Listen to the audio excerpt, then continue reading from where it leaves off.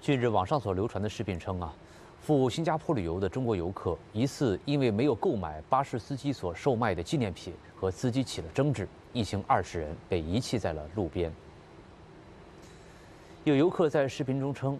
因为没有购买司机所售卖的物品，遭到了司机的辱骂，甚至还被门撞到。那随后，司机将游客的行李卸下了巴士，游客就控诉司机不愿道歉，怒气难平。但另外一方面，有认识当事司机的受访者表示啊，旅游巴士司机所售卖的是平价商品，也不会强迫旅客购买。